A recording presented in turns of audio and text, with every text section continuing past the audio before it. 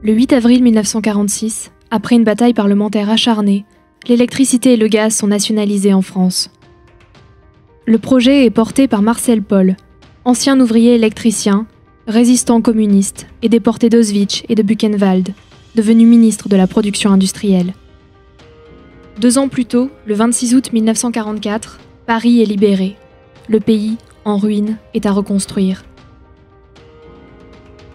Le programme du Conseil national de la résistance prévoyait justement, entre autres, le retour à la nation des sources d'énergie, des richesses du sous-sol. La CGT, dans son journal Le Peuple, appelle à de nombreuses reprises à la nationalisation des industries du gaz et de l'électricité. Dès 1944, des sociétés gazières et électriques, comme Gaz de Paris ou la Société hydroélectrique roussillonnaise, sont nationalisées. Le 2 mars 1945, Charles de Gaulle prononce un discours fort sur la nationalisation de l'énergie.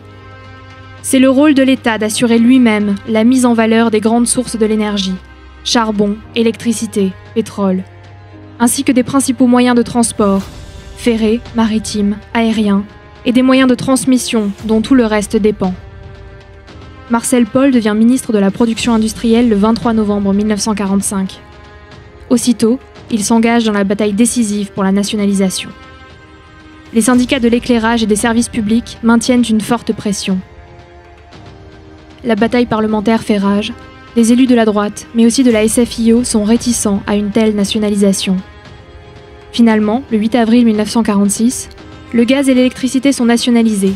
C'est la naissance d'EDF-GDF. La nationalisation met fin aux plus de 1300 sociétés locales d'énergie, alors, pour tous les Français, débute l'ère d'un même service public, de l'électricité et du gaz.